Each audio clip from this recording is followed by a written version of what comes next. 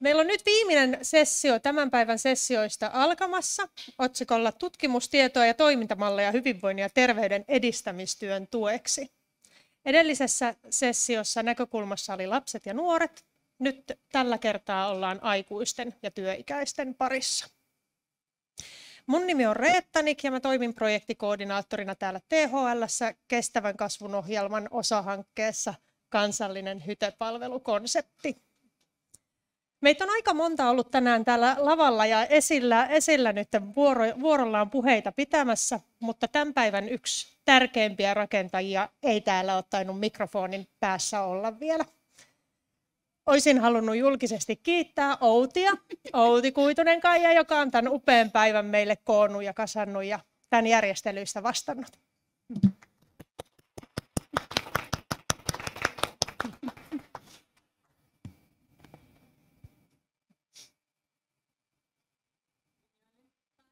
Että kiitos paljon tästä yllät- yllätyksestä. yes. Kiitos Outi. Eli nyt siirrytään, siirrytään eteenpäin ohjelmassa ja meillä on luvassa tässä seuraavan kolmen vartin aikana kolme puheenvuoroa. Ensimmäisestä puheenvuorosta vastaa työparini, projektipäällikkö Pia Hakamäki ja Pia tarkastelee, että onko toimintatapojen pysyvä muutos mahdollinen ja kertoo, mitä tämä meidän kansallisen hytepalvelukonseptin kehittäminen oikeastaan on. Ole hyvä. Kiitos Reetta. Oikein mukava olla tänään täällä paikalla ja kymmenen vuotta hytepäiviä on, on semmoinen pyykki, mitä mä toivon, että me juhlitaan myös tämän päivän jälkeen ja sitä hyvää työtä, mitä kunnissa, järjestöissä ja hyvinvointialueilla tullaan tekemään. Tota, mun nimi on tosiaan Pia Hakamäki ja toimin Reetan työparina ja meidän vastuulla on uuden kansallisen hankkeen käynnistäminen. Mä oletan, että kauhean moni ei ole vielä kuullut tästä, mutta on tosi hienoa, että olette nyt mukana ja toivon, että myös etänä osallistujat on vielä mukana tässä meidän viimeisessä sessiossa tältä päivältä. Eli kansallinen hytepalvelukonsepti ja, ja tota, kysymys, että onko toimintatapojen pysyvä muutos mahdollinen. Se on todella tärkeä kysymys nimenomaan silloin, kun käynnistetään uutta hanketta, joka tulee kestää neljä vuotta. Ja mä toivon ja mä itse asiassa tiedän, että me palataan tähän kysymykseen hankkeen päättöarvioinnissa ja mä toivon, että me tullaan palaamaan tähän kysymykseen myös kymmenen vuoden päästä.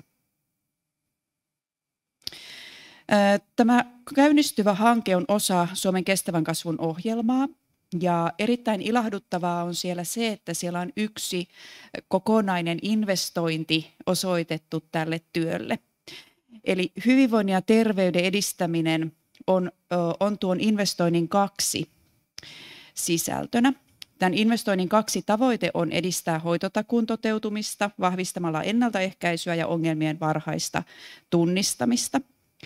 Sen lisäksi rahoitusta tähän kehittämistyöhön tulee myös investoinnista neljä, jonka tavoitteena on ottaa käyttöön digitaalisia palveluja ja digitaalisia innovaatioita.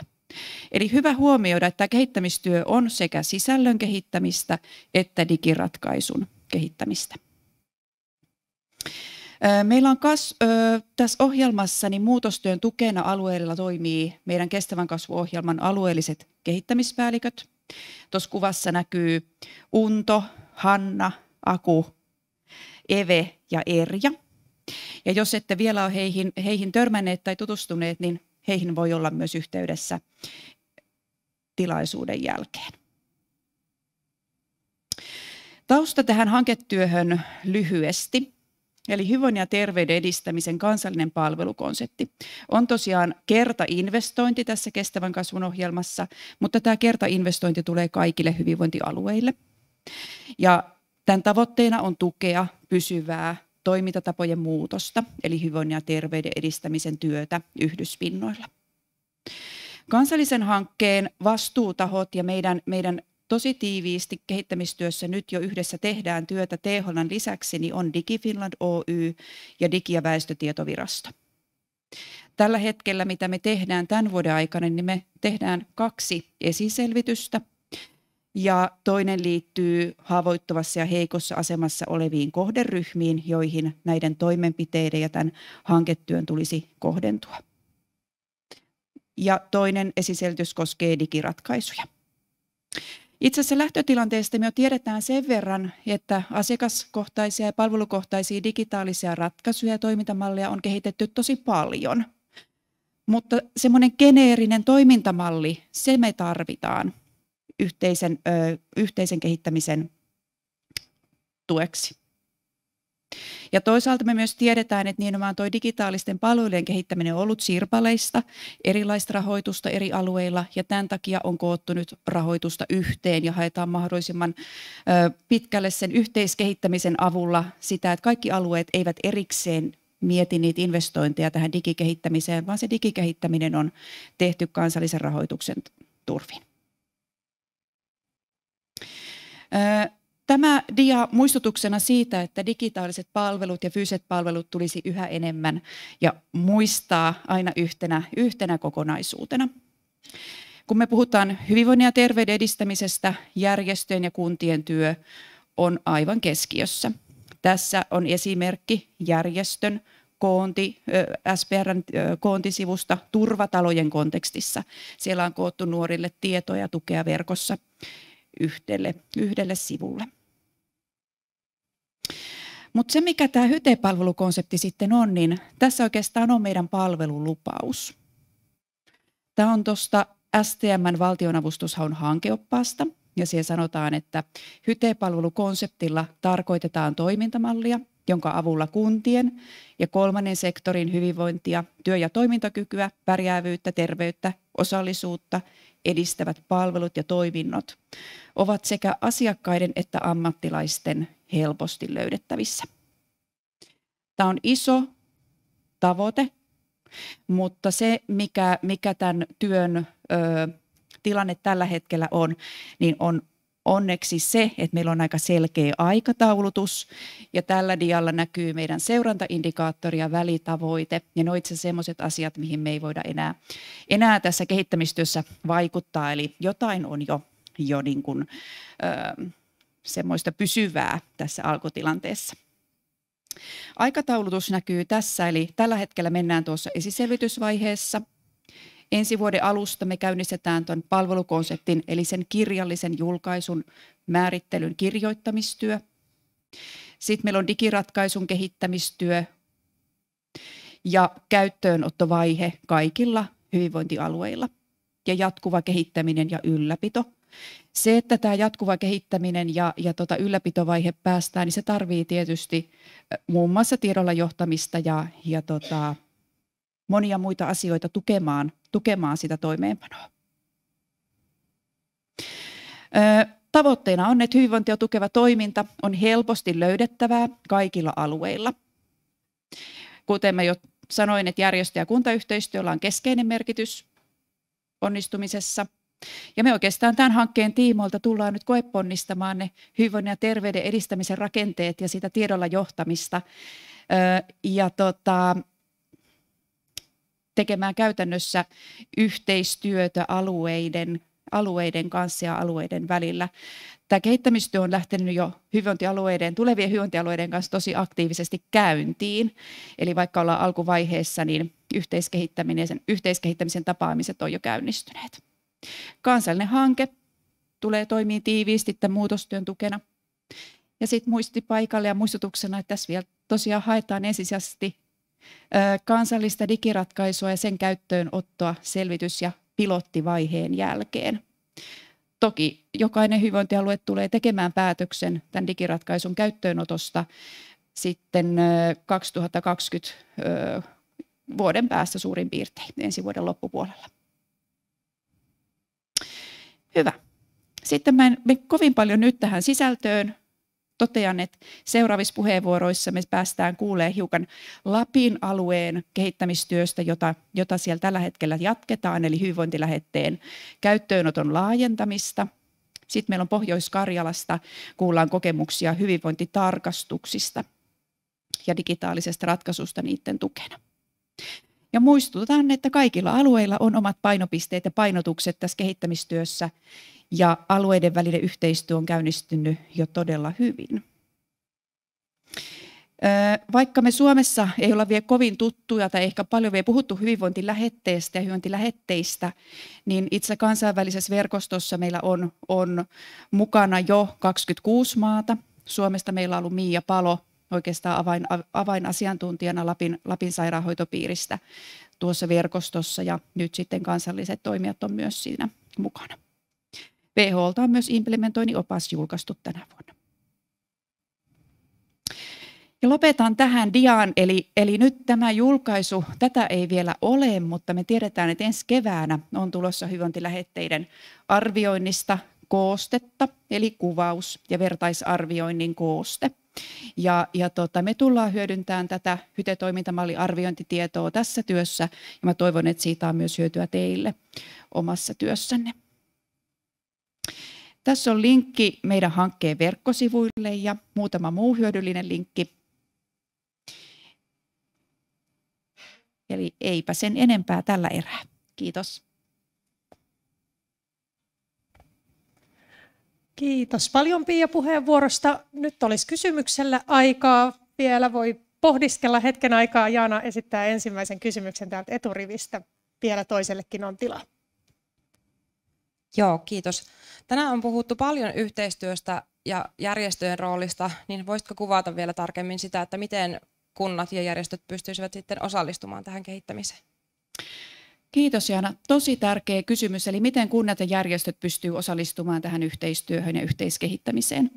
Oikeastaan nost, ö, nostaisin huomioon sen, että, että turvataan se, että myös kansalliseen kehittämiseen meillä on kuntia järjestöryhmä aloittamassa joulukuussa ja tervekuntaverkoston kanssa on sovittu jo yhteistyöstä.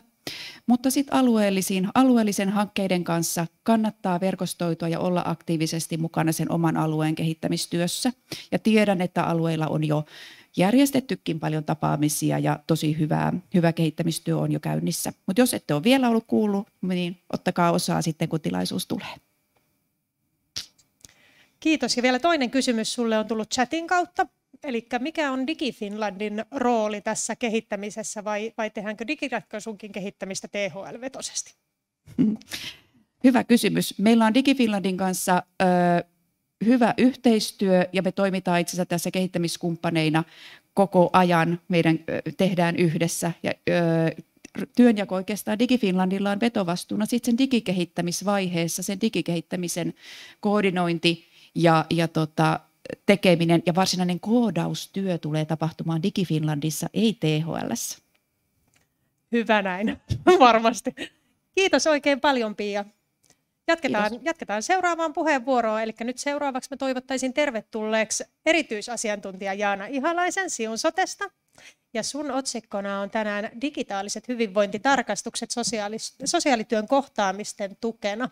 Ja tästä aiheesta löytyy myös opinnäytetyö sinun tekemäsi netistä, eli sieltä Joo. lisätietoa vielä voi päästä lukemaan. Ole hyvä. Kyllä vain. Tota, lähdetään suoraan asiaan. Tänään on puhuttu paljon hyvinvoinnista ja nyt tulee ehkä vähän käytännön näkökulmasta sitten myös sitä, että miten hyvinvointitarkastukset näyttäytyy siellä osana sosiaalityötä. Mutta muutama tämmöinen keskeinen käsite on varmasti hyvä käydä läpi. Oma olopalvelu on varmasti tullut kaikille tutuksi nytten korona-aikaan, koronavilkun, koronaoirearvion yhteydessä. Eli oma olohan on sosiaali- ja terveydenhuollon sekä suun terveydenhuollon sähköinen asiointi- ja palvelukanava, joka meillä on valtakunnallisesti käytössä. Oma olopalvelun tarkoituksena on tukea asiakkaan oma- ja itsehoitoa sekä ohjata tarvittavien palveluiden piiriin. Ja oma-alopalvelu sisältää hyvinvointitarkastuksen, joka taas on kysely, joka koostuu Duodecimin terveystarkastuksesta ja WHOn PREF-elämänlaatukyselystä. Eli siellä on hyvinkin strukturoidut kyselylomakkeet siellä tämän kyselyn taustalla. Hyvinvointitarkastus taas antaa käyttäjälle tilannekuvan hänen hyvinvoinnistaan ja tunnistaa niitä mahdollisia hyvinvointiin liittyviä riskejä. Ja sitten se, että miksi opinnäytetyö kohdentuu tähän hyvinvointitarkastukseen. Haluttiin ottaa käyttöön uusi työväline, joka tuottaa laaja-alaisempaa tietoa sinne työntekijöiden käyttöön, kun asiakasta ohjataan oikeiden palvelujen piiriin. Ja hyvinvointitarkastuksen avulla voidaan tehdä myös seurantaa siinä asiakkaan tilanteessa ja hänen hyvinvointinsa kehittymisessä asiakkuussuhteen aikana. Haluttiin myös saada asiakkaan ääntä paremmin kuuluville, vahvistaa osallisuutta, hyödyntää aidosti asiakkaan itsensä tuottamaa tietoa tässä sosiaalityön yhteydessä. Ja lopulta haluttiin myös se, että asiakkaat ohjautuisivat sujuvammin oikeisiin palveluihin ja sitten saataisiin myös aikaan työajan säästöä siinä, että meidän ei tarvitse käyttää niin paljon aikaa siihen palveluvalikoiman läpikäymiseen, kun meillä on jo olemassa semmoista vaikuttavaa tietoa siellä päätöksenteon taustalla. Ja haluaisin näyttää teille, että minkälaista tietoa hyvinvointitarkastus tuottaa. Meillä työntekijöillä oli käytössään kaikki näiden kyselyiden tarkat yksittäiset vastaukset, mutta suurin hyöty saatiin näistä yhteenvedoista, jotka tuli terveystarkastuksesta ja elämänlaatukyselystä. Otin myös poiminnan tuolta terveystarkastuksen vastauksista, eli siellä on hyvin tarkalle tasolle viety esimerkiksi eliniän ennuste, jossa kuvataan niitä asiakkaan vastauksen pohjalta tulleita tai kyselyn pohjalta vastattuihin asioihin liittyvää dataa ja sen perusteella voidaan verrata sitä myös tilastotietoon ja tutkimustietoon. Ja nämä kirjalliset palautteet olivat varsin laajoja ja niitä käytettiin aika luovastikin sosiaalityön tukena. Elämänlaatukyselystä ehkä vähän suppeampi on kirjallinen palaute kuin mitä terveystarkastuksesta, mutta näiden yhteishyöty oli, oli kyllä havaittavissa monessakin eri tilanteessa. Tosiaan on mainittukin, että tämä on osana ollut ylemmän korkeakoulututkinnon tai sosiaalialan kehittämisen ja johtamisen korkeakoulututkintoa. Tuolla Siunsotessa meillä on jakautunut Siunsote eri alueisiin ja tämä tutkimus kohdistui tuonne meidän pohjoisen alueen työikäisten palveluiden sosiaalityön yksikköön, jossa oli 12 työntekijää.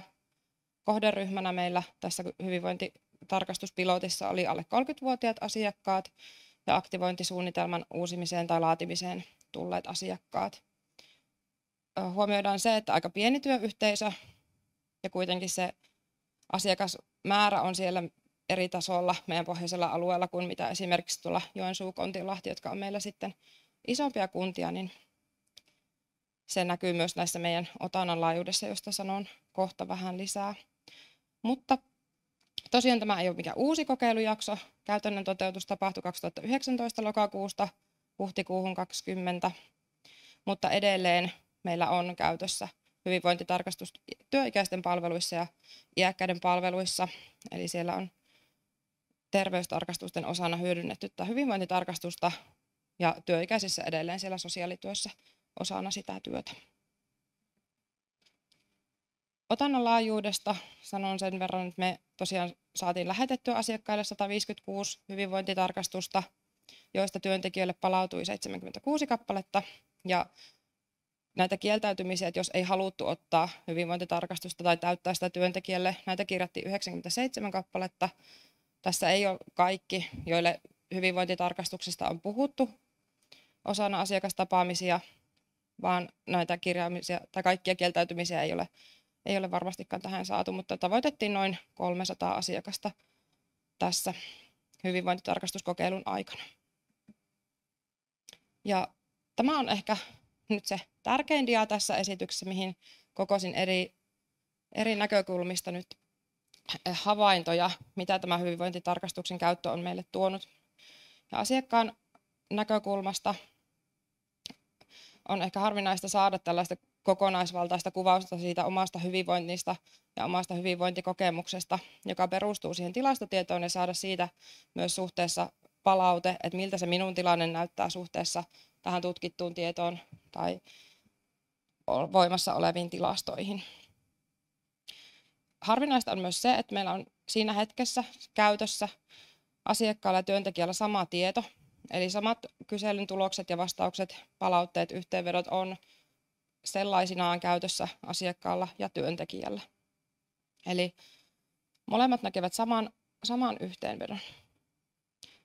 Saatiin palautetta tämän hyvinvointikokeilun tai hyvinvointitarkastuskokeilun aikana, että tästä hyvinvointitarkastuksesta ja sen palautteesta on ollut apua asiakkaalle sanoittaa sitä omaa palvelutarvettaan, on ollut helpompi kuvata, että mistä voisin hyötyä, missä ne minun haasteet saattaa olla, mitä palveluita voisin tarvita tässä tilanteessa. Samalla halutti, tai tuli myös se ajatus siitä ja kokemukset, että oma toimisuus lisääntyi. Asiakkaat alkoi itse ottaa asioita enemmän hoitaakseen, varata aikoja ammattilaisille, aktivoitua siinä oman elämän edistämisessä. Ja samalla myös palveluiden vastaanottaminen ehkä helpottui, kun ruvettiin näkemään ulkopuolisen palautteen kautta sitä, että mikä se minun tilanne on ja mistä minä voisin hyötyä.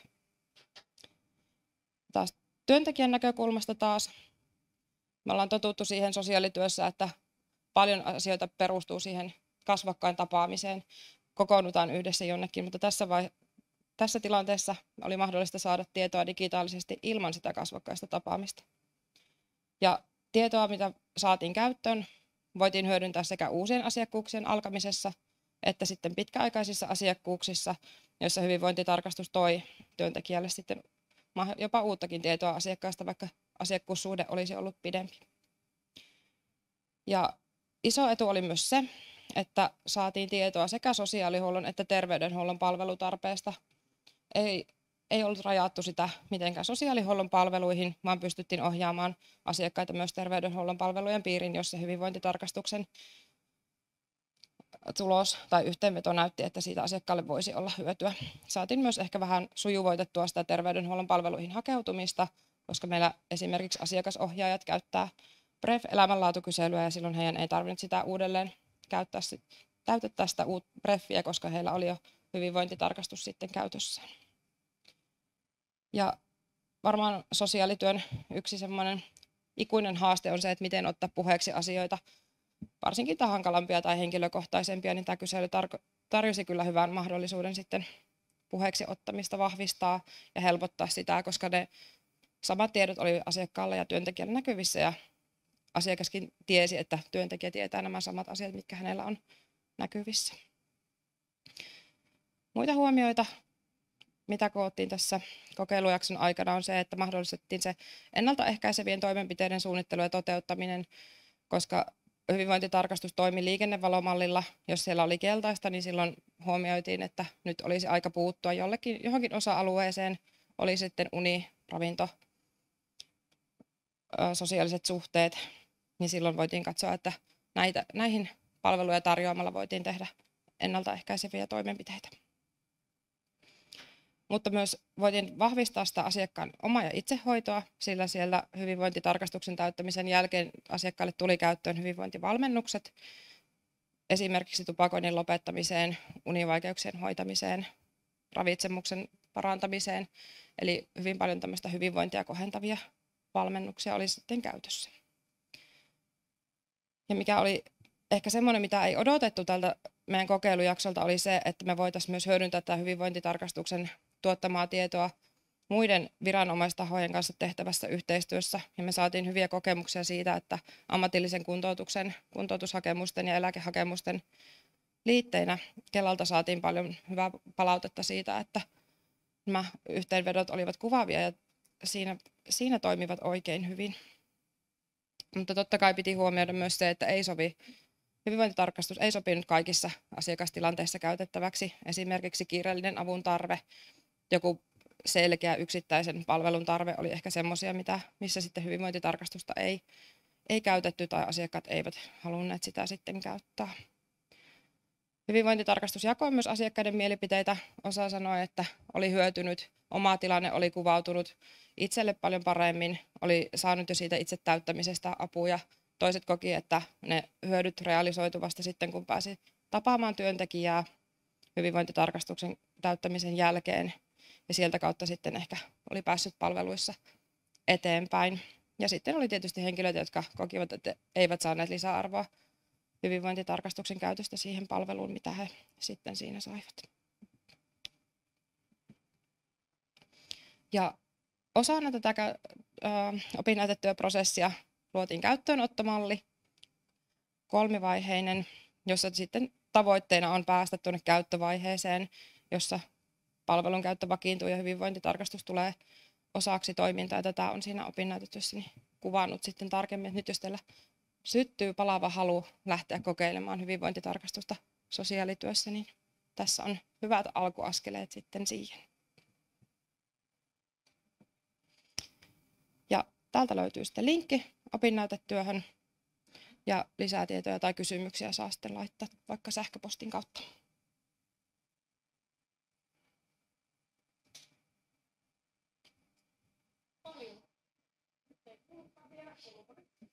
Halo. Joo, kiitoksia paljon Jaana puheenvuorosta. Ää, oliko Minnalla kysymys? Muut voi vielä haudutella, jos tulee kysymyksiä mieleen tai näpytellä siellä chatin puolelle. Kiitos Jaana tosi paljon. Minna Tsehner Helsingin yliopistosta. Miten näitä hyvinvointitarkastuksia, niin voisiko näitä käyttää tämmöiseen niin kuin oma- ja itsehoidon tarkoituksiin sun näkökulman mukaisesti? se olisi hirmu tärkeää, että voisi, koska kysely on kuitenkin toistettavissa, mutta tällä hetkellä varsinkin tässä meidän kokeilun aikana se vaadittiin, että työntekijä avasi hyvinvointitarkastuksen asiakkaalle ja sen jälkeen asiakas vasta pääsi täyttämään hyvinvointitarkastusta. Eli se ei ole kenen tahansa saavutettavissa. Et sit jos tämä tilanne muuttuu, niin ehdottomasti kyllä. Ja tietysti ne hyvinvointivalmennukset siellä taustalla tarjoaa ihan suoria itse, omaa itsehoidon välineitä. Ja tietysti voi myös seurata sitä oman oman vointinsa kehittymistä sitten toistamalla sitä kyselyä. Ja miksi se ei voisi myös sitten, jos tilanne on huono, niin olla avain sitten sosiaalipalveluihin, lähettää herätettä työntekijälle, että täällä voitaisiin tarvita palvelutarpeen arviointia tai muita toimenpiteitä. Kiitos. Oliko yleisössä kysymyksiä? Ole hyvä. Kiitos Tuorman Tuija Espoon kaupungilta. Mä kysyisin tuosta, mä kävin äsken justiin sun opinnäytettä vähän vilkuilemassa, niin tota, kysytäänkö siinä patteristossa millään tavalla esimerkiksi lähisuhdeväkivallasta? Kun päihteistä kysyttiin ja sitten mielen hyvinvoinnista, mutta onko siellä väkivaltakokemuksesta mitään?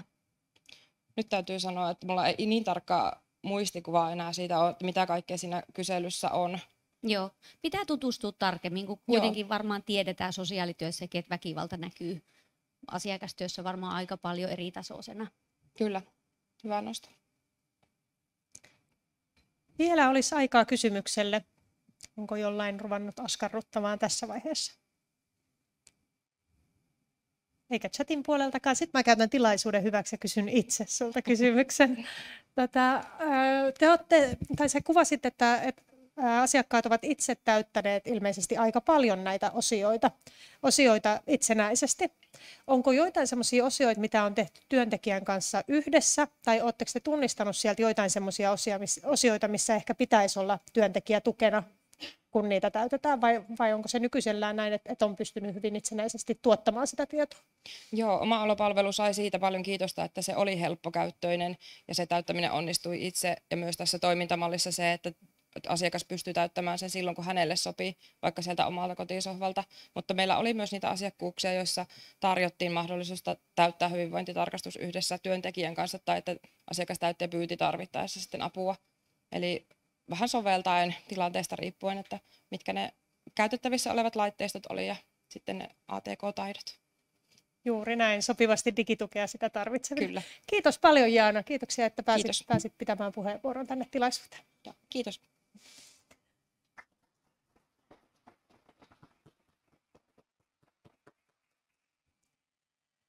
Ja tämän session viimeinen puheenvuoro apulaisprofessori Minna Sehner Helsingin yliopistosta. Ole hyvä. Sinun otsikkona on Hyvinvointilähete Lapissa, pohdintoja mallin soveltuvuudesta kasvukeskuksiin. Ole hyvä. Oho, siellä tuli jonkun toisen kiitos, mutta se tuli sopivaan aikaan. Joo, tosiaan kiitoksia, että pääsin tänne puhumaan. Mä on tosiaan, puhun tässä nyt Helsingin yliopiston edustajana, mutta siihen aikaan, kun tämä tehtiin, tämä hanke, niin, ja me tehtiin tämä selvitys, niin olin Lapin yliopistossa. Ja kyse on tämmöistä Linkki Lappilaiseen hyvinvointiin hankkeesta, joka on parivuotinen, se osui just tähän koronan aikaan, joka hidasti sitten sitä käyttöönottoa, mutta otettiin käyttöön koen mielessä tämmöinen hyvinvointilähetetoimintamalli ja tavoitteena tosiaan tukea ihmisiä yhteisöllisin keinoin. Ja ajatuksena se, että se sopisi sellaisiin tilanteisiin, tilanteisiin, jolloin sosiaali- tai terveyspalveluiden tuki ei oikein riitä, että ihmiset on ikään kuin jumahtanut johonkin tiettyyn tilanteeseen esimerkiksi. Ja tämä, on, tämä hanke rahoitettiin sosiaali- ja terveysministeriön terveyden edistämisen määrärahasta ja, ja tätä veti tätä hanketta Lapin sairaanhoitopiiri ja tosiaan Mia Palo oli oli tässä niin kuin vetovastuussa. Ja tätä, tämä toteutettiin Kemijärven, Muonion ja Enontekiön kunnissa. Ja ajatuksena oli, että, että olisi tarvetta tämmöiselle uudenlaiselle ihmisen kokonaisvaltaista hyvinvointia tukevalle toimintamallille. Ja että keskiössä olisi nämä ihmisen itse määrittelemät tarpeet ja sitten niitä myötäilevä toiminta ja, ja sitä kautta tämmöinen niin kuin subjektiivinen hyvinvointi ja osallisuus ja toimintakyky voisi niin kuin kohentua. Ja tämä hyvinvointilähete on niin tässä taustalla, missä tästä nyt jo esiteltiinkin alussa, että on tämmöinen social prescribing-toiminta, jota on 80-luvulta lähtien Iso-Britanniassa toteutettu. Ja tämä on hyvin tämmöinen niin terveydenhuoltolähtöinen, että semmoiset ihmiset, jotka, jotka on niin kuin sosiaalialan ihmisiä, sosiaalihuollossa työskenteleviä, niin tämä saattaa tuntua vähän hassulta, että ikään kuin uusi ajatus siitä, että ihminen on tämmöinen psykofyysis, sosiaalinen kokonaisuus. Se ehkä terveydenhuollossa on vähän niin kuin uudempi ajatus niin sanotusti, mutta meille sosiaalitieteilijöille esimerkiksi tai, tai alan ihmisille niin ei ollenkaan. Mutta että se ajatus, että se on varmaan se tarve nyt tässä tähän hyvinvointi, me käännettiin se hyvinvointilähetteeksi sitten tämä social prescribing ja, ja tota niin, ajatuksena juuri se, että terveydenhuoltoon äh, tulee paljon sellaisia ihmisiä, joilla on, se tilanne ei oikein niin muutu miksikään, eikä ei mene parempaan suuntaan, vaikka äh, diabetes ja, ja tota niin, se oma hoito on esimerkiksi huonossa, huonoissa kantimissa vaikka – ja, ja näitä on tosiaan kirjoitettu esimerkiksi Iso-Britanniassa näitä lähetteitä, hyvinvointilähetteitä hyvin monenlaisiin asioihin, taidetoimintaa, kirjallisuuteen, liikuntaan, opintoihin ja niin edelleen. Ja tosiaan ajatuksena on se, että e-, erityisesti sellaiset ihmiset, joilla on niin monia erilaisia terveydellisiä haasteita tai voi olla pitkäaikaissairaita tai jos on mielenterveyden ongelmia tai paljon käyttää sosiaali- ja terveyspalveluita tai on yksinäisiä tai jotenkin sosiaalisesti eristyksissä, niin semmoisille ihmisille tämä voisi olla sopiva sopiva tota niin, tämmöinen hyvinvointilähete. Ja tavoitteena on tuottaa tämmöisen niin yhteenkuuluvuuden ja mielekkyyden tunteita ja sitä, sitä kautta niin kasvattaa sitä ihmisten hyvinvointia. No Iso-Britanniassa se tehdään se lähete ää, terveydenhuollon tietojärjestelmässä, eli se useimmiten menee sillä tavalla Iso-Britanniassa esimerkiksi, että siellä on tämä ää, lääkäri, yleislääkäri, general practitioner, joka tekee sen lähetteen ää, semmoiselle henkilölle, jonka arvelee, että voisi hyötyä tästä. Ja yleensä se tietysti täytyy käydä se keskustelu tämän potilaan kanssa, että on, onko hän mahdollisesti kiinnostunut tämmöisestä. Se tehdään se lähete. Se menee siellä tietojärjestelmässä linkkihenkilölle, eli se on niin link worker, ää, ja, ja tota, joka on tämmöinen koordinoiva toimija. Ja, ja niin Lapissa se oli koordinoiva linkkihenkilö, ja, ja tota, tämä sitten tämä koordinoiva toimija lähettää sen lähetteen sitten, hänellä on niin kuin tieto siitä, että ketä ne linkkihenkilöt siellä ikään kuin kentällä niin sanotusti on. Ja hän lähettää sen sitten sopivalle linkkihenkilölle, joka sattuu olemaan vapaana tai muuten mahdollisesti sopiva. Ja tämä linkkihenkilö ottaa yhteyttä tähän lähetteen saajaan ja sitten he yhdessä alkaa niin kuin keskustelemaan siitä, että mikä on tilanne, mikä on tämän ihmisen oma arvio siitä tilanteesta, mitä hän niin kuin itse ajattelee, että on ehkä haasteena, ongelmana, ää, miten hän haluaisi lähteä tätä purkamaan ja, ja, ja miten tämä linkkihenkilö voi sitten olla apuna siinä. Että hyvin tämmöinen niin kuin yksilölähtöistä toimintaa. Ja sitten, sitten ajatuksena on se, että nämä linkkihenkilö ja tämä tuen saaja, lähetteen saaja, niin he voi sitten hyödyntää vaikka mm, harrastustoimintaa, voi olla jotain keskusteluryhmiä, mitä sitten sattuu siellä alueella olemaan saatavilla. Eli se on tavallaan tämmöistä niin kuin ohjattua, ohjataan henkilökohtaisesti niin kuin ihmisten pariin ja ä, sosiaaliseen toimintaan ja aktiviteetteihin ja, ja muuhun semmoiseen. Ja tota, tässä Lapissa se oli, äh, tätä ei haluttu tehdä nimenomaan, eikä tietenkään olisi ehkä ollut mahdollista tuossa tehdä niin kuin virallisesti noihin meidän terveydenhuollon asiakasjärjestelmiin. Se, se laitettiin tämmöiseen virtu.fi-järjestelmään, että se tehtiin kyllä niin kuin sähköisesti. Ja, ja tota, niin ajatus oli siinä, että se lähete olisi niin kuin näiden henkilöiden ikään kuin nähtävissä itse ja se ei olisi niin kuin mahdollisimman vähän semmoista niin kuin virallista toimintaa sillä tavalla. Ja, ja Lapissa se rajattiin se toiminta-aika, että se olisi kuusi kuukautta, eli ajatus on siitä, siinä se, että se linkkihenkilö auttaa tämän ihmisen ikään kuin eteenpäin siinä tilanteessa, mutta ei jää sitten pitkäaikaiseksi tueksi. Ja tätä hyvinvointilähetetoimintaa on tutkittu todella paljon, ihan valtava määrä tutkimuksia. Ja kaiken näköistä hyötyä siitä on ajateltu, että on niin esitetty, että siitä saadaan. Itsetunto vahvistuu, motivaatio, toivo, optimismi, terveys, jos mennään liikuntaa harrastamaan, terveellisimmät elintavat ja niin edelleen ja niin edelleen. Mutta sitten voi tietysti kysyä, että toimiiko tämä hyvinvointilähete. No ensiksikin tässä on vähän haasteellista se, että hyvinvointilähetetoiminnan alle voidaan ikään kuin sijoittaa melkein mitä vaan, kunhan se on tämmöistä yhteisössä tapahtuvaa ja osin tämän linkkihenkilön tuottua toimintaa tai hänen tukemanaan tehtyä toimintaa tai alkuun saatettua. Ja sitten tässä niin kuin hyvin harva näistä tutkimuksista pohjaa tämmöiseen satunnaistettuun vertailukokeeseen, mikä on tietysti jälleen yhteiskuntatieteilijöille ei ole mikään yllätys, koska eihän tämmöisiä asioita pystytä tutkimaan tämmöisellä tehdään joku interventio yhdelle ryhmälle ja toiselle ei tehdä. Ja sitten siinä on niin paljon niitä väliin tulevia tekijöitä, että ei voida oikeasti tietää, että mikä on se hyvinvointilähetteen vaikutus ja mikä on jotain muuta. Ihminen on saanut työpaikan tai jotain muuta semmoista. Öö, ja, mutta että näissä tutkimuksissa on, on rapo, niin kuin tullut esiin erilaisia menetelmällisiä ongelmia ja, ja tota niin, on käytetty monenlaisia mittareitakin, mutta että niitä ei ole oikein raportoitu, niitä menetelmiä eikä mittareita useinkaan kauhean perusteellisesti. Me käytettiin tuossa semmoista positiivisen mielenterveyden mittaria, semmoista lyhyttä mittaria, mutta se oli niin lyhyt aika ja niitä mittaustuloksia oli niin vähän, että siitä ei nyt kannata kauheasti vielä mitä kertoa sen kummemmin. Että tarvitaan pitempi aika, koska sen, sen järjestelmän pystyttämiseen meni aika paljon aikaa. Sitten me koulutettiin näitä linkkihenkilöitä.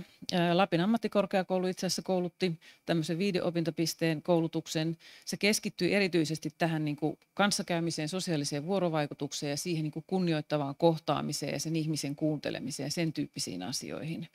Ja nämä, me haastateltiin tätä meidän selvitystä varten myös linkkihenkilöitä, me haastateltiin lähetteen tekijöitä, lähetteen saajia ja kouluttajia, näitä hankeihmisiä. Ja tota niin, noi linkkihenkilöt koki, että siinä koulutuksessa olisi ollut hyvä saada tietoa vähän siitä, niin kuin, niistä, että mitä sillä alueella oli niin kuin toimintaa tarjolla, minkälaisia järjestöjä. Lähetteitä tehtiin 63 ja niistä semmoinen aika niin kuin suuri osa kuitenkin johti toimintaan. Ja tämmöinen niin kuin yksinäisyys, eristyneisyys ja semmoisen niin kuin ryhtymisen vaikeus ja semmoinen oli aika yleisiä asioita, miksi sitä lähetettä sitten tehtiin. No, tarjottiin emotionaalista tukea, saatiin kuuntelija ää, sille omalle tilanteelle, pystyttiin keskustelemaan, arvioimaan sitä, ää, saatiin tiedollista tukea linkkihenkilö saattoi olla jotain sellaista osaamista ja tietämystä, mitä tällä henkilöllä itsellään ei ollut. Ja sitten saatiin ihan tämmöistä niin verkostoihin liittymistä ja toiminnallista tukea. Mentiin yhdessä ja tehtiin yhdessä asioita. Ja mikä oli niin kuin meille, meille ehkä yllättävä oli se, että tämä oli aika voimaannuttava kokemus näille linkkihenkilöille. Ja näistä linkkihenkilöistä aika monet oli siis sosiaali- tai terveysalan, että heillä oli jonkunlainen alan koulutus, mutta se ei ollut mikään vaatimus. Että siellä sitten oli myöskin jotain puuseppiä ja, ja, ja muita niin kuin muiden alojen ihmisiä. No sitten voisi miettiä sitä, että no sopiiko tämä kasvukeskuksiin, kun tämä kokeilu tosiaan oli tämmöisellä niin kuin harvaan asutulla alueella Lapissa – ja mitä siellä niin kuin tuli ongelmiksi juuri tällä alueella oli se, että, että sitä, niitä järjestöjä ja semmoista sopivaa aktiviteettia ja toimintaa ei ollut niin kuin tarjolla aina, aina juuri silloin, kun sitä olisi haluttu. Lapissa on pitkät välimatkat, se esti usein osallistumista ja, ja, ja tota niin, harrastamista. Ja sitten myöskin se, että pienellä paikkakunnalla ihmiset tuntee toisensa. Että se ei oikein sovi tähän systeemiin, että linkkihenkilöllä ja sillä lähetteen saajalla, että on, on entuudestaan jotain, vaikka ne nyt sitten olisi kaverin kummin kaimoja tai jotain muuta semmoista, mutta että se olisi ehkä hyvä, että, että he olisivat oikeasti vieraita. Ja sitten, että näillä linkkihenkilöillä oli näitä päällekkäisiä rooleja, että joku saattoi esimerkiksi olla ö, töissä vaikka siellä hoivakodissa, missä jonkun äiti oli vaikka hoidossa, vaikka ei nyt niin läheistä, mutta kuitenkin, että oli tämmöisiä rooleja. Ja mikä tässä niin kuin ylipäätään on haasteellista, on, että nämä, nämä työn, tuen saajat, eli ne, joille se lähete kirjoitetaan, niin he sitoutuu tähän linkkihenkilöihin. Ja linkkihenkilöt oli kivoja tyyppejä, ja he oli kuuntelevia ja, ja tota niin, arvostavia, ja, ja heidän kanssaan olisi haluttu niin kuin toimia pidempäänkin, ja sehän ei ollut se ajatus. Ja sitten, sitten välillä nämä tilanteet oli liian haastavia. Saattoi olla esimerkiksi, että mielenterveyden ongelmat oli semmoisessa tai se, semmoisessa jamassa tavallaan se mielenterveys, että, että se oli niin kuin liikkihenkilöille liian vaativa se tilanne, eikä, eikä kannattanut niin kuin sitten siihen sillä, sen takia, niin kuin, että tarvii ammattilaisen tukea. Sitten äh, on nämä kulut. Äh, harrastus maksaa, kaikilla ei ole rahaa. Ja sitten myöskin se, että ikääntyneiden ihmisten niin kuin nämä haasteet on aika, että silloin oli Kemijärvellä varsinkin, niin tuli aika paljon iäkkäitä ihmisiä. Ja heidän ne tilanteet ja tavallaan se mahdollisuus muuttaa sitä tilannetta oli ehkä vähän hankala, että, että tota niin, ei ollut sitä ikään kuin sitä edistystä nähtävissä tai mahdollista niin kuin saada. Jos se liikunta on rajoittunut, niin se on rajoittunut esimerkiksi. Ja sitten oli tosiaan tämä, että tämä linkkihenkilötoiminta rajattiin ajallisesti. Sekin oli hankalaa. Myöskin sillä tavalla, että ei saanut käyttää niin kuin tuntitolkulla per päivä. Nämä linkkihenkilöt hän sai pienen korvauksen, se oli jotain reilu 12 euroa tunti. Ja, ja se tekee ehkä vähän eriarvoisuutta näiden linkkihenkilöiden ja sitten järjestöissä toimivien vapaaehtoisten välillä. Ja sitten myöskin nämä linkkihenkilöt kuormittu välillä emotionaalisesti. Heille tarjottiin mentorointia ja he myöskin tuki toisiaan kyllä. Ja sitten välillä tämmöiset niin kuin saada motivoimaan nämä, motivoitumaan nämä ihmiset mukaan, tai sitten oli tämmöisiä ihan rajoitteita. Ja tässä on vielä ää, meidän ää, raportti, joka on siis verkossa luettavissa.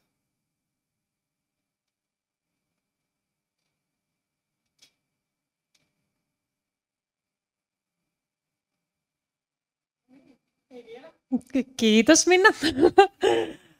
Kiitos hyvästä esittelystä ja tässä on tosiaan luettavaa, luettavaa vinkki myös tämän esityksen lopussa. Eli, eli tuossa aiemmin olikin puhetta siitä, että jos näitä esityksiä kaipaatte itsellenne, niin sieltä palautelomakkeen kautta voi ne pyytää, pyytää ja saa samalla myös nämä hyvät linkit ja vinkit talteen itselleen. Ja palautetta ei ollut pakko antaa. Eli riittää, kun käytte laittamassa sieltä sen sähköpostiosoitteen, mutta toki palaute on aina tervetullutta. Mutta Minnalle kysymyksiä. Täällä eturivissä innokas selvästikin, mutta ehkä vielä, vielä joku muukin kerkeää ennättää, että kerkeää kysyä tänään kysymyksen Minnalta. Ole hyvä Pia. Kiitos Minna tosi mielenkiintoinen tämä selvitystyö, mikä on ollut Lapi, Lapissa käynnissä pilottivaiheessa ja, ja tota, on seurannut vähän sitä kehittämistyötä sen jälkeen ja muun muassa Sodankylä on, on nyt mukana tuossa hyvinvointilähetetoimintamallin käytössä. Tota, sä katsot tätä ö, tutkijan näkökulmasta ja mä en malta olla kysymättä sulta semmoista kysymystä, että et mä tiedän, että me ollaan Suomessa aika lailla mallimaa. Me ollaan kuultu aamulla, että me voidaan hyvin röyhistää rintaa ja olla mallimaa monella tapaa hyvinvoinnin ja terveyden edistämisessä. Mutta jos mietitään tämän hyvinvointilähetetoimintamallin käyttöön, käyttöönottoa, niin mikä olisi semmoinen kansainvälisen tutkimuksen perusteella semmoinen mallimaa, johon meidän kannattaisi vähän suunnata katsetta ja kurkistaa, että mitä, mitä siellä on tehty, mistä me otettaisiin mallia, mistä maasta. No tietysti siinä mielessä, että Iso-Britanniassa tätä on tehty todella pitkään ja siitä on tutkimusta saatavilla, niin siinä mielessä se on tietysti kiinnostavaa. Mutta sitten mä mietin, että tämä on käytössä esimerkiksi Kanadassa. Ja voisi ajatella, että Kanada on niin kuin sitten taas ilmastoltaan ja välimatkoiltaan ja ehkä, niin kuin, ei nyt ehkä voi sanoa, että siinä on samanlaiset maisemat, meillä on tietenkin hienommat, niin, mutta että tavallaan on niin kuin, että sillä tavalla se konteksti, ja siellä on kuitenkin niin kuin vahva hyvinvointivaltio niin kuin meilläkin, että tota, siinä mielessä se voisi olla se Kanada aika kiinnostava, mutta että jokainen, jokainen maa on erilainen, ja kun mä en ainakaan tiedä, että olisi Pohjoismaissa kokeiltu, niin, niin tota, va- vastaus on Kanada. Kiitos, juuri näin. Ja tämä hyvinvointilähete on siis yksi toimintamalli, mitä tarkastellaan nyt myös tässä YT-palvelukonseptihankkeen aikana. Ja, ja tiedän, että monella alueella on suunnitelmia sen käyttöönotosta ja pilotoinnista eri muodoissa. Chatin puolelta yksi kysymys. Öm, hienoa työtä. Tämä hyvinvointilähete perustuu varmaan palveluohjauksen periaatteisiin. Eli perustuuko tämä palveluohjauksen periaatteisiin, kuuluu kysymys. jos joku selittää, mitkä on palveluohjauksen periaatteet ensiksi. Mutta tota niin, äh, siis sillä tavalla, että, että tässä on, että mun mielestä ehkä kannattaa niin kuin, korostaa sitä, että tässä on sen tuen tarvitsijan äh, niin kuin käsitys ja mielipiteet ja ymmärrys sitä omasta tilanteesta niin kuin etusijalla. Että jos lähete kirjoitetaan, niin se täytyy tehdä ikään kuin yhteistyömisen ammattilaisen kanssa. Ja se on tietysti myöskin muistettava, että, että Lapissa kun me tehtiin sitä kokeilua, niin ne ei aina ollut terveydenhuollon toimijoita, jotka niitä lähetteitä kirjoitti, vaan saattoi olla myös niin kuin sosiaalihuollon palveluista. Että siinä mielessä se palveluohjaus ehkä ei ole oikein, vaikka mä oon ihan varma, mitä se tarkoittaa, mutta että, että tota niin, ehkä toisenlainen painopiste. Kiitos. Sitten mä näen kysymyksen siellä päin. Ole hyvä. Kiitos erittäin hyvästä esityksestä Sanna Ahonen Espoon kaupungilla ja sitten myös Länsi-Uudenmaan hyvinvointialueen valmistelussa. Ja nyt olisin vain kysynyt sitä, että kun meillä Espoon kaupungilla on liikunta neuvonta käytössä ja siellä sotesta ohjataan, ohjataan niin kuin liikuntaryhmiinkin ja liikuntaneuvontaan kädestä pitäen ja, ja sitten myös on niin kaikukortti, missä sotesta ohjataan sitten kulttuuri ää, niin kuin palveluiden pariin ja, ja toki siellä on niin kuin järjestötoimijoita. Mietin sitten nyt tätä hyvinvointilähetettä, että onko siellä Lapissa ollut näitä vastaavia liikuntaneuvontaa tai sitten tätä niin kuin kulttuuritoiminnan pariohjausta. Et, et mietin nyt itse, kun en ole niin perehtynyt näihin, että millä tavalla tämä suhtautuu niin kuin niihin sitten. Joo, tosi hyvä kysymys ja, ja mä ajattelisin, että miten tämä niin eroaa tämä hyvinvointilähete tästä on se, että tässä on kuitenkin pyrkimyksenä olisi se, että jos se ammattilainen tekee sen lähetteen, että siinä olisi myöskin se seuranta, että sitten seurataan, että tapahtuuko jotain, ryhtyykö tämä ihminen siihen toimintaan ja niin edelleen. Periaatteessa just tämmöiset liikuntaohjaus ja kaikukortit ja niin edelleen, niin nehän on niin kuin ihan samaa asiaa, mutta niistä puuttuu ehkä se semmoinen niin kuin rakenne ja runko, että tehdään se lähete ja sitten on joku, joka tukee sinne menemiseen, että siinäkin saattaa olla, että, on, monille se riittää, että saa sen kaikukortin, mutta sitten on joitakin ihmisiä, jotka tarvii oikeasti sen, että mennään yhdessä ja, ja, ja tota niin, tuetaan sinne menemiseen ja tekemiseen, että, että se on ehkä se ero, että, että periaatteessa tota voi kutsua ihan hyvin hyvinvointilähetetoiminnaksi, paitsi että se lähete siitä puuttuu. Kiitos. Ja vielä viimeinen kysymys tai kommentti. Okei. Okay. Tota, ö, selvä. Eli vielä jatko, jatko tuohon Sannan erinomaiseen ja tärkeään, kysy, tärkeäseen kysymykseen, että miten tämä hyvinvointilähete toimintamallina voisi liittyä liikuntaneuvontaan ja kulttuurin, vaikka siihen kaikukorttiin niin ö, tässä on vielä erona, keskeisenä erona se, että liikuntaneuvonnasta vastaa kunta jatkossa, ja siellä on ammattilaiset liikuntaneuvojat, jotka on liikunta-alan ammattilaisia, mutta hyvinvointilähetetoimintamallissa se linkkihenkilö on vapaaehtoinen, joka on käynyt kyllä linkkihenkilökoulutuksen, joka on viiden opintopisteen koulutus, muun muassa motivoivaa haastattelua ja dialogisia menetelmiä. Kiitos ja kiitos Minna oikein paljon puheenvuorosta. Meillä alkaa tämä... Vappo. Pojata.